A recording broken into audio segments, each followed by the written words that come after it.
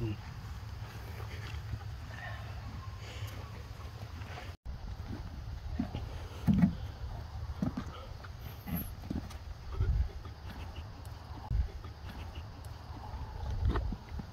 don't know if this is gonna work.